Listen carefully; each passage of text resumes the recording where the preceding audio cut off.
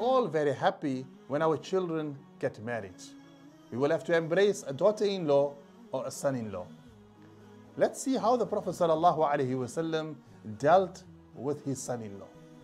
One day the Prophet ﷺ came to the home of his daughter Fatima radiallahu anha. And he never sees Sayyidina Ali radiallahu anhu and he saw that Fatima was very angry.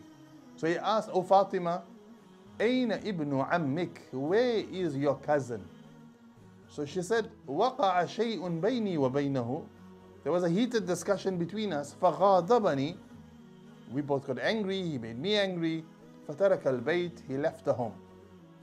The Prophet ﷺ then asked one of the Sahaba to go and see where is Ali radiallahu anhu, his son-in-law. They found him raqidan fil masjid, sleeping in the masjid. Prophet ﷺ then walked to the masjid and came to Ali. The top garment of Ali radiallahu anhu fell off and it became embroiled in the sand. Rasulullah sallallahu gently picked up his garment and said, Ya Aba Turab, O the father of sand. Uh, Ali radiallahu awoke.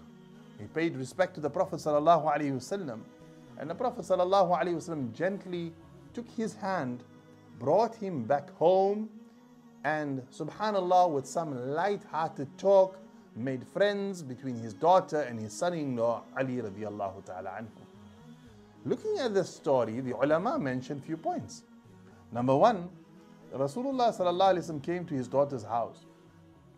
When he realized that she was angry with her husband, he never provoked the matter or probe into it. Rather, he mentioned an, a word by saying, Ain ibn ammik, where is your cousin? That shows that he tried to show relationship and Ali being a relative of Sayyidatuna Fatima radiallahu anha to try to bring her heart closer to her husband. Secondly, when Nabi Kareem sallallahu asked Fatima radiallahu anha, where was Ali? She just said, وَقَعَ شَيْءٌ بَيْنِي وَبَيْنَهُ There was a dis- discussion and a heated argument between us, and she stopped there. She never go on to tell the Prophet ﷺ the details of her fight. Nor did the Prophet ﷺ try to probe it and ask her, Oh yeah, Ali is fighting with you. What did he do? What did he say? No. Then, not only that, the Prophet ﷺ went to go and find his son-in-law. And then when he saw his son-in-law, he used the most gentle of words, Ya Aba Turab, O the father of sand, because the sand was on the clothes of Sayyidina Ali radiallahu ta'ala anhu. O the one covered in dust. He used a light word, and that's why Ali radiallahu anhu loved that word so much that whenever anyone called him Ya Aba Turab, he would get very happy indeed. So subhanAllah, he won the heart of his son-in-law. No questions asked. These difficulties and these subhanAllah heated arguments happen between husband and wife. So Rasulullah overlooked that.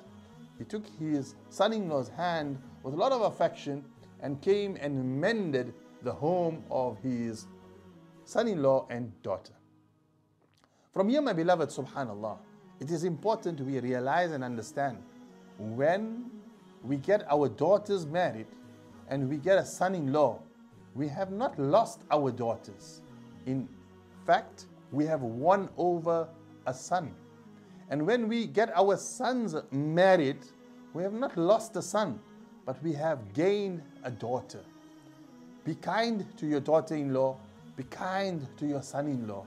And when your daughter and son comes with complaints, do not, subhanAllah, welcome it especially if it is not urgent, if it's not of an emergency nature, subhanallah, try to allow them to settle their own differences.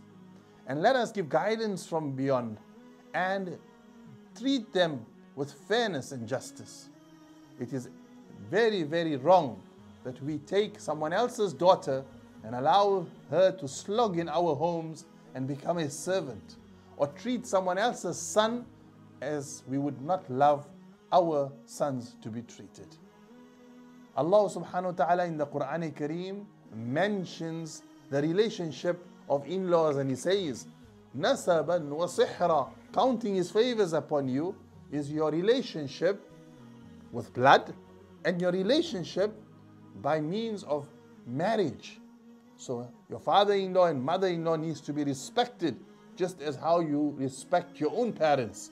And subhanallah, respect and love and cherish your son-in-law and your daughter-in-law just as how you would do with your own daughter and your own son.